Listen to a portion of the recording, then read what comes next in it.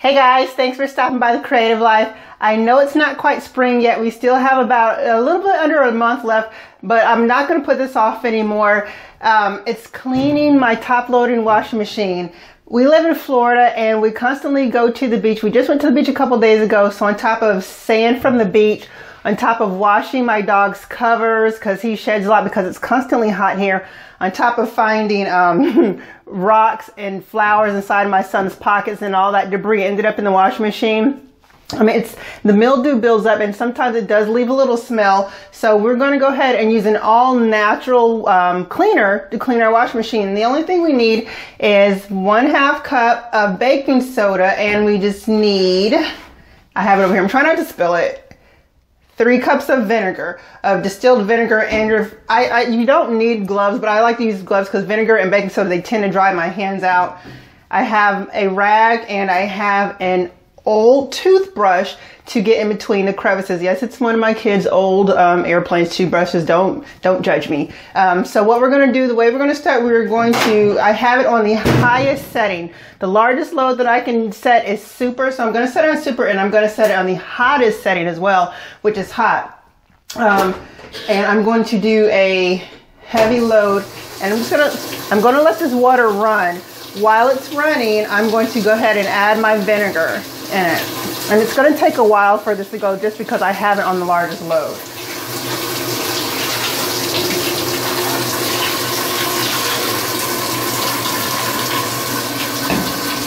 And then next I'm going to add my baking soda.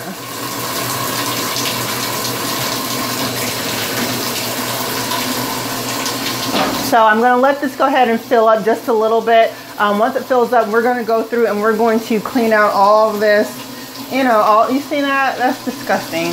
Dog hair, sand, lint. I'm not even sure how lint got in there. But we're going to go ahead and let this fill up and then we are going to get some elbow grease and get to working. So guys, I'm going to go ahead and show you the extra parts that we're going to clean. Um, this liquid bleach, a lot of dust and dirt, and like I said, dog hair just gets trapped up in here. A lot of sand. Um, also the fabric softener dispenser. We're going to go ahead and take this apart and clean this out. Once this fills up, we're going to use the water from this to actually clean all these extra parts. And we're not going to forget about all of this. Don't forget about all of this. And a lot of people who do clean their top loading washing machines, they forget to clean to clean all this as well.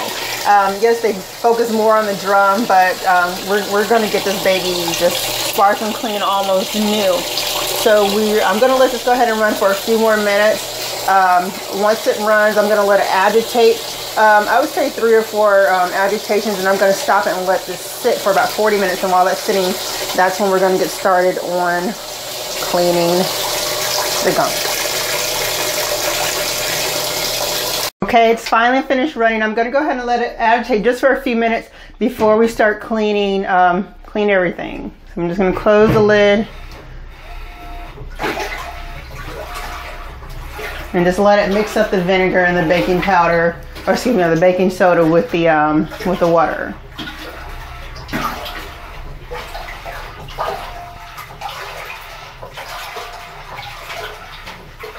So the first thing I'm going to do, I'm going to go ahead and take, I'm just going to wipe all this down first before we um, start with the toothbrush. So I'm going to use my rag and I'm going to dip it in the water. Same water that we're using to clean the um, washing machine with.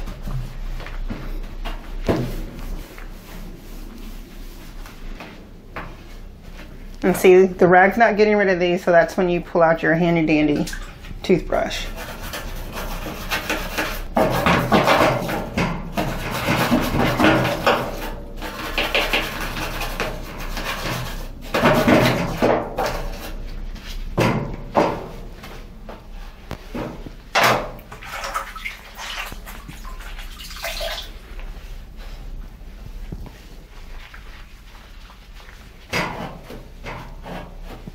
Starting to look better already.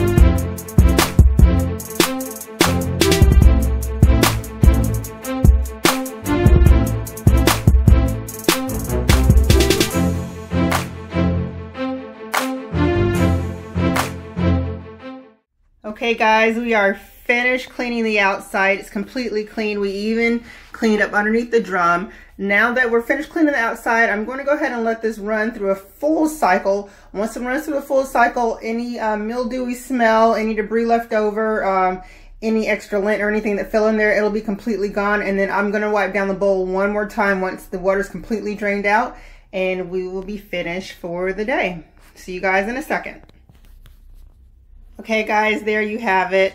Um, it ran through a full cycle. As you can see there, um, it's cleaning in the inside. All the dog hair, the dirt, the sand is completely gone. It's completely clean up underneath the drum. There is actually more um, yuck under there than I expected it to be. Um, but I'm happy with the results.